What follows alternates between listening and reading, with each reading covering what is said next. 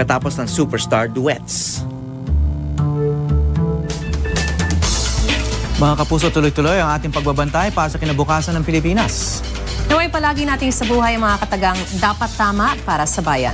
Para sa ibang balita, bisitahin ang aming Facebook page at i-follow niyo rin po ang aming official Twitter account.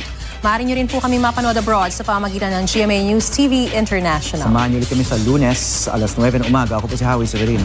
At sa ngalan ni Cara David, ako po si Mariz Umali, naghahatid ng News to Go.